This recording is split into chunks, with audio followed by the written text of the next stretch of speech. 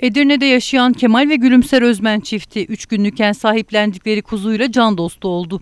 8 aydır gözü gibi baktıkları Karagöz isimli kuzuyu bir an olsun yanlarından ayırmayan Özmen çifti örnek bir davranışa imza attı. Her yere kuzuyla birlikte giden Özmen çifti her sabah ve akşam Tunca Nehri boyunca yürüyüş yapıyor. Kuzu ve Özmen çiftinin samimi görüntüleri görenlerin içini ısıtıyor. Büyüttükleri kuzuya evladımız diyen Özmen çifti kuzuyu torunlarından ayırmadıklarını söyledi. Üç günlük aldık onu biz. Üç günlük. Anadan doğma. Evladımız mı? E, ne olacak başka baksana. Ya buraya be. Hey ya buraya bak.